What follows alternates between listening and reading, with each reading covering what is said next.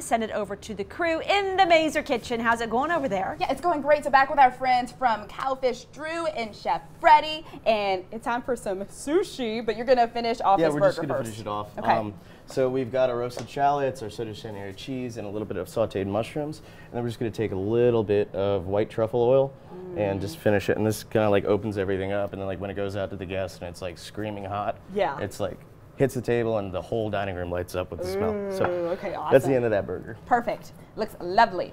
Now for the sushi, and you're actually going to be showing me how it's done. Right, so we're gonna start with, um, this is our makimono. Uh-huh. Um, this is our bamboo mat for rolling Okay. um, and finishing, and then we've got a little bit of nori.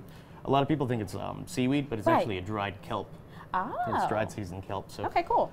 And then we're gonna take some of our sushi rice, which actually in Japanese tradition, the rice is the most important component of sushi. Right. It's like we always say rice fish, or rice first, fish second. Uh huh. Um, and we're just gonna get a little ball on both sides of the maki. Okay, cool. So you guys have the, the good rice, right? Right. Yeah. We make this in house. Only yeah. This is this is this is our the real deal right here. Okay. So what you're really going to focus on when you're doing this is not pressing down too hard. Ah. Um, when you do that, the rice will get really chewy, and the the roll kind of will Oh, yeah. kind of it, texturally it's, it's just not going to be very pleasing. Okay. So this is the tricky part right here. This is actually spreading the rice. Okay. So you actually take your thumbs, move forward Uh-huh. um, to spread evenly forward, and then you're going Oh. to kind of spread them with Like pulling- fill it out. Yeah, pulling it back Okay. exactly. So you see, I'm taking my thumbs, Oh, kinda rolling yeah. forward.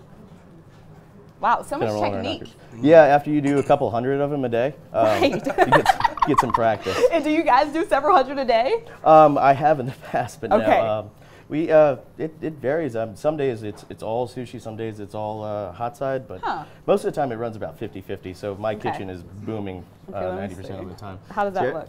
So you- you're gonna go a little bit lighter, right? Okay, With lighter. your thumbs. Yep. Just rolling it forward. I made it look easy, but You made it look so easy, takes a 'cause long mine is not really moving Um, forward. In Japan, uh, like the professional sushi chefs, they say that they can actually get each individual grain moving in the same direction. What? But I've never seen that before. Okay, that's impressive. Yeah, it's pretty wild. Let's take uh, TOA to Japan. Let's do that. Yeah.